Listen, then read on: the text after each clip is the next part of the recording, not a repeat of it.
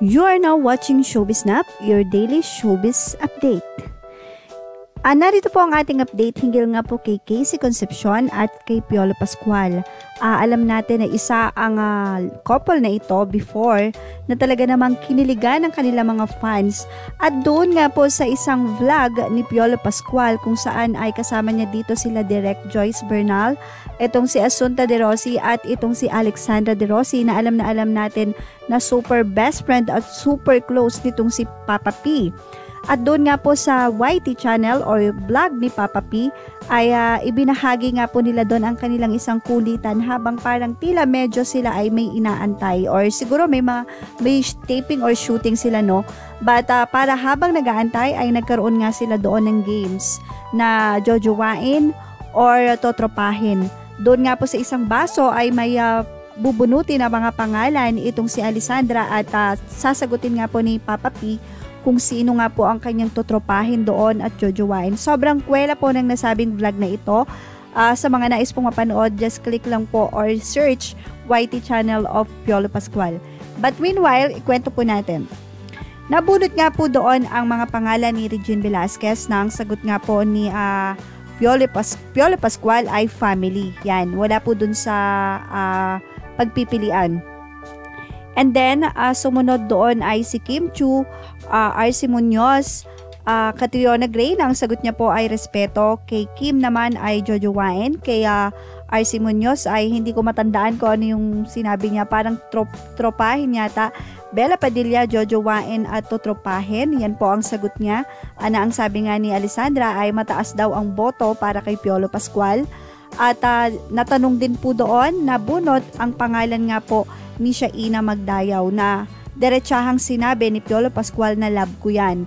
Nung sinabi nga po iyon ni Alessandra ay sinabi niya na bakit hindi mo ginawa? Yun ang tanong niya. And hindi naman na nga po sumagot doon si Papa P. And then, ito nga po yung pinaka-climax ng story dahil nabunot nga po ang name ni Casey Concepcion at ito nga po ay uh, hindi binanggit ni Alessandra kundi ipinakita niya ng malapitan doon nga po sa camera and then ibinigay niya kay Piolo at sinabi niyang ikaw na ang magbasa dahil hindi ako marunong bumasa. Nung pagkakita nga po ni Piolo kung sino ang nakalagay doon sa paper na ang nakalagay ay si Concepcion, sinabi niya na walang nakasulat. Sabay lumapit sa kanya si Direct Joyce at sinabing sino yan at isinubo nga po ni Papa P yung nasabing papel. At uh, yon nagtawanan, sinabi ni uh, Direct Joyce na uh, true love daw po iyon. Dahil uh, doon nga po sa music, biglang nabago yung music na nakalagay ay uh, heartbeat, tug, tug, tug yan. Heartbeat nung si Case Conception na nga po, yung name niya, ang uh, nakita ni Alex, ay uh, yun nga po yung naging sounds nung background music, parang heartbeat. At doon nga po sinabi nga ni Direct Joyce na talagang uh, True love daw yon at sinabi din nitong si Alessandra na ganitong kamahal ni Piolo Pascual si Casey dahil talagang hinalikan at sinubo nito ang papel at uh, parang gusto nga pong mabura or baka daw mabura sabi ni Piolo. And then wala naman pong naging uh, pagsagot doon si Piolo dahil in, iniba na nga po ni Alessandra ang question at bumunot na nga po siya ng panibagong papel. Doon nga po makikita nyo yung sobrang close nila, no? Si Alex, si Direct Joyce na halos parang araw-araw na yata ay magkasama tong mga to. Ngayon, napansin naman natin doon sa isang netizen sa YT channel nga po ni Piolo ay may nagtanong doon na bakit daw biglang na iba yung music nung kay Casey Concepcion na nga po na tapat doon po ay sinabi nila na 'di ba official vlog ito ni Papa P, meaning sila ang nag-edit ng video. So anong meaning ng heartbeat sound effect nang si Casey na po ang question. In fairness, siya lang yung may ganon tapos alang sagot. Yes, wala nga pong isinagot. At 8 years sana ulit, 'di ba? 8 years between una nilang uh, pagmi-meet until ligawan niya si Casey after pagbalik niya from Paris. Yun nga po ang uh, sabi ng isang netizen. So napansin talaga natin 'yon. At uh, eto nga po ang ating uh, masasabi diyan uh, sa ating uh, channel. Casey Concepcion and Piolo Pascual remembering sweet moment photos sa pagkakahiwalay nga ni Casey Concepcion sa French boyfriend nitong si uh, Pierre uh, sa second time around ay nagkahiwalay nga sila. Marami ang nag-assume na mga fans at netizen na sana nga daw ay magkabalikan na ang super bagay na bagay na naging couple sa showbiz na sina Casey Concepcion at Piolo Pascual. Matatandaan na naging magka-partner sa isang teleserye si Piolo at Casey na Lovers in Paris na mataas ang ratings that time na ineri ito sa ABS-CBN. Marami nga ang nabitin nang matapos na ang nasabing serye. Kaakibat nito ay ang pagkakaroon nga ng relasyon ng dalawa na kinatuwa naman ng marami, lalo na ang kanilang mga fans dahil talaga namang bagay na bagay si Casey at Piolo. Nagulantang naman ang, ang madlang people matapos i-reveal ni Casey Concepcion na hiwalay na nga sila ng aktor. This is the first time na umiyak talaga si Casey sa social media on television, yung pain na damang-dama mo and uh, Blessing na din dahil uh, naka-move on naman na ngayon si Casey.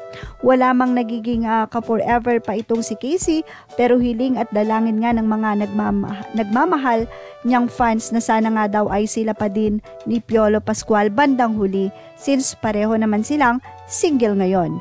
Naitanong din ito before kay Piolo and sinabi naman ni Piolo na why not ni Piolo na why not in good terms na din naman daw sila ni Casey at friends sila uh, after na magkaroon nga sila ng uh, parang napaka sakit na breaking up.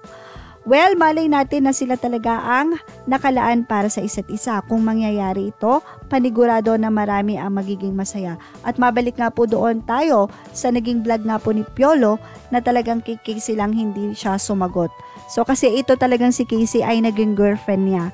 So marami silang pinagsamahan, uh, good times, bad times. So talagang speechless si Papa P at naintindihan naman yon ni Alessandra kaya naman change the topic agad.